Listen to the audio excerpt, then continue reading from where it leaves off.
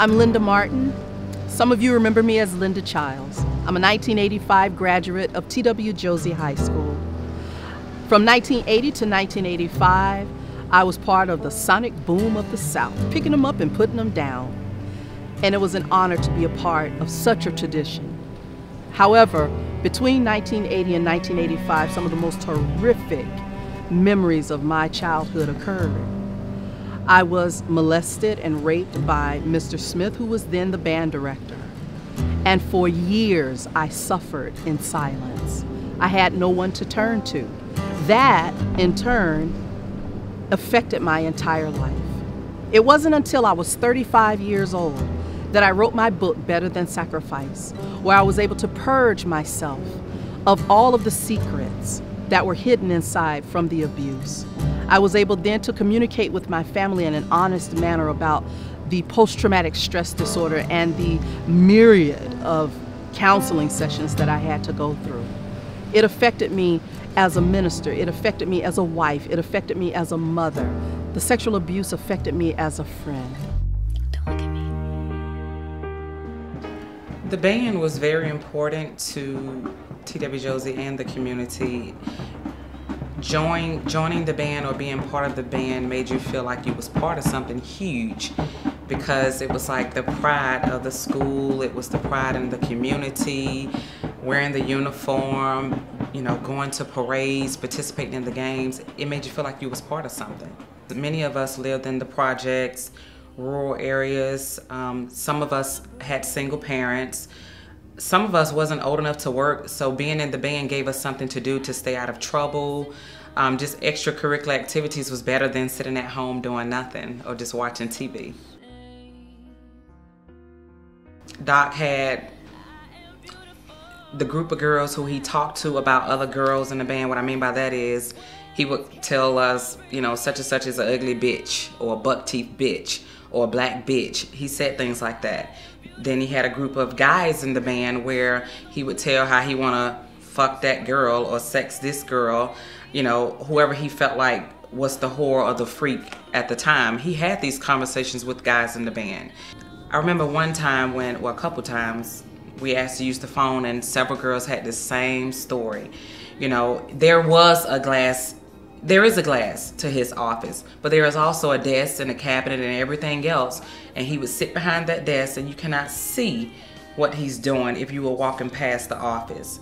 And when you reach for the phone or grab the phone, he take his strong hands and he puts it around your hand on that receiver.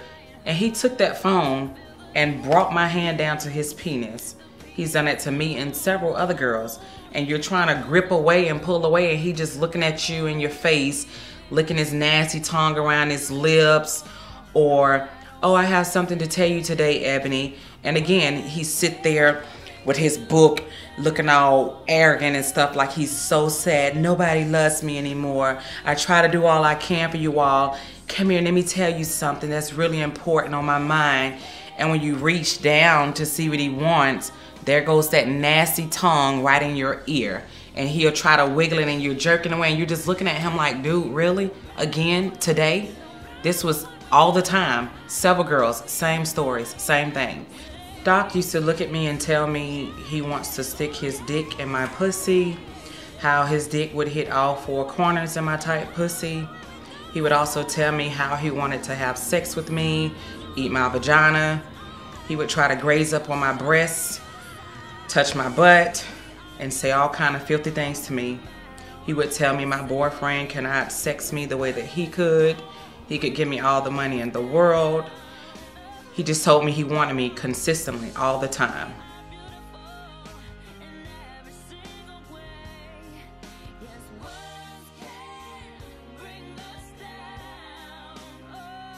And the other thing that made me so angry was as I read the court documents, which I wasn't made aware of until three or four years ago, I realized my story was the same as women I never met before. Over 10, 15, 20 years. I never met these women a day in my life. And we had the same examples, but we're liars at the end of the day. And that's what hurt me and made me so angry. How can our stories be the same? And and people say, "Oh, just let it go." It's just a phase. No, it's not a phase. This stuff started in the 70s.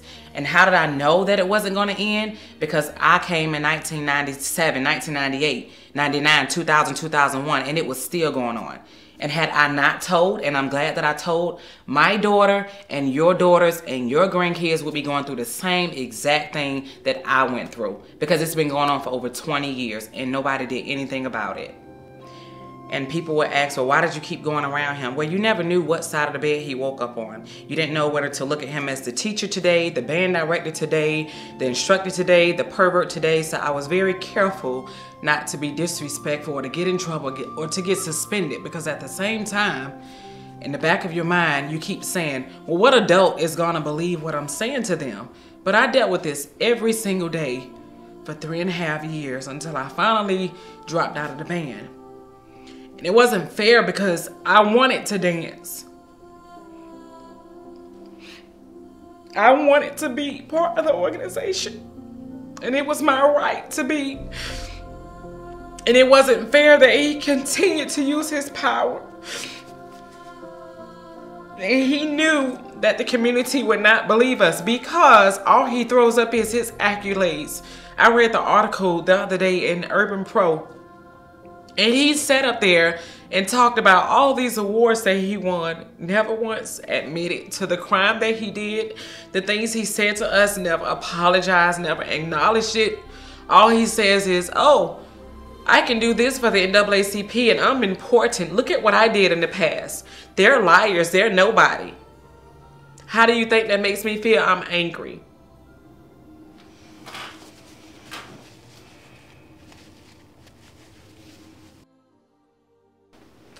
This situation has impacted my marriage a lot. It causes me to have trust issues. Sometimes I don't want to be touched. I don't want to be bothered by my husband. Um, my daughter, I don't allow her to go to other people's houses to spend the night.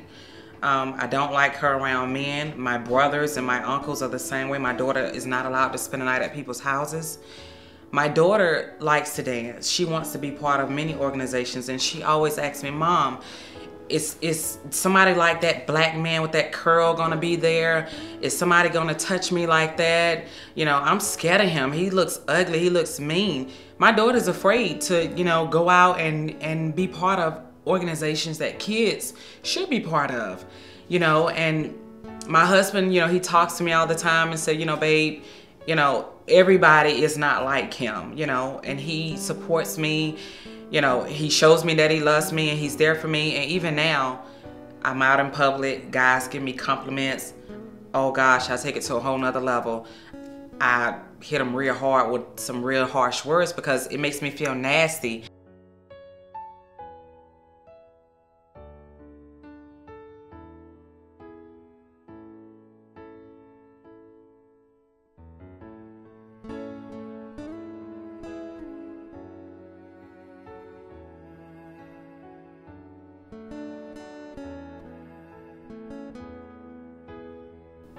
I want the national NAACP to know that it hurts me to know that you all are supporting this predator. You would allow him to be the president of an organization who is supposed to protect people like me from people like him. There are kids in that organization. We're supposed to look up to you all to help us when we're experiencing these things in the community. Hi, I am Dr. Beulah Nash Teachey. I serve as the president of the local NAACP, and I am proud to serve in this position. The issue that is coming up in reference to a new election, I want it to be very, very clear. The executive board, members of the Augusta branch, to include the state, truly are supporting the young ladies that were impacted by the behavior of Charles Smith. And we're going to do all we can do to make sure that this person is brought forward so that the community can know and they can make a determination of what should be done. It is my understanding from reading the data that for whatever reason, his license was suspended. I had an opportunity to talk with victims I had an opportunity to read the data for myself. And from those two uh, events, I truly, truly believe that these young ladies were impacted on for a period of time. And because of that, they have been impacted for life. I believe Charles Smith and everybody else who's involved is going to have their day in court.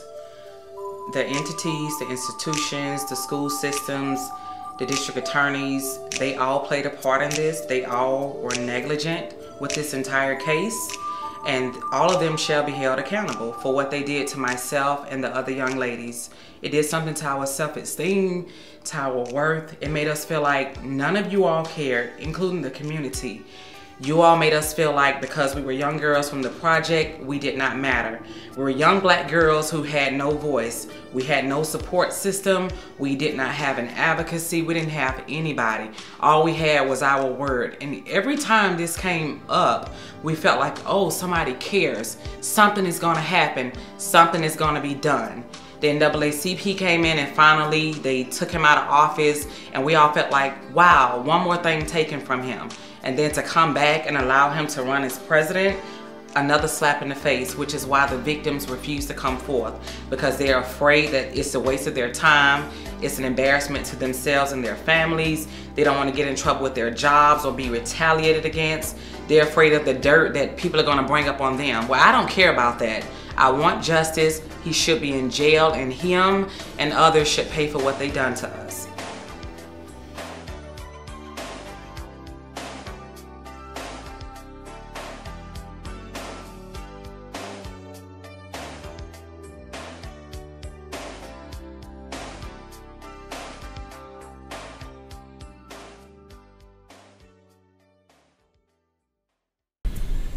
Oh, Mr. Sun, Sun, Mr. Golden Sun, please shine down on me.